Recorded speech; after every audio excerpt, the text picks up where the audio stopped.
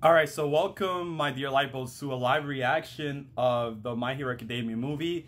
It has been a long, long time since I live reacted to anything My Hero Academia related. The last thing I reacted to was an OVA that came out and I never watched it where there was a villain with a mask that turned out to be All Might because people told me. But yeah, I never watched that OVA. I think I couldn't find it or something. But I'm gonna watch the My Hero Academia, the movie Heroes Rising. This is a teaser trailer, and I'm really excited because Horikoshi always gives us good movies. And I also own the My Hero Academia um, Two Heroes movie that the last one that came out, and. we're already two movies in in My Hero Academia. This is the second one. Can Black Clover get a movie, please? Let's get started. All right.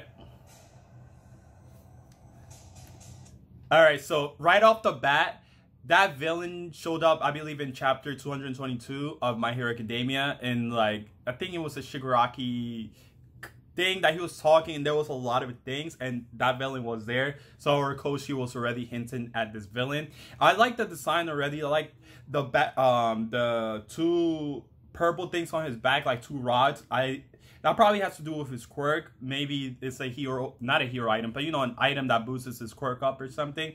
And let's keep watching. All right.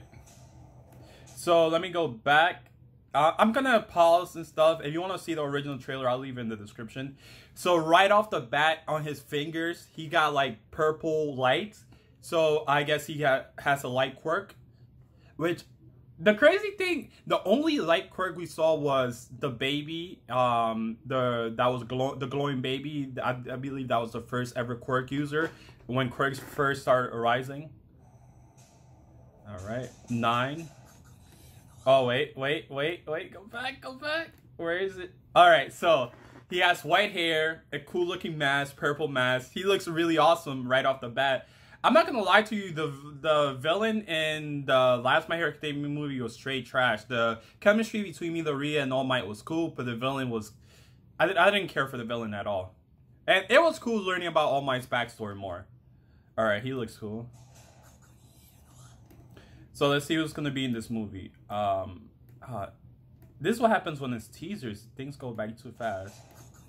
Okay, so a lot of the students are gonna be in the movie. My boy Mineta, Kirishima, Tsuyu. Okay, so a lot of the students.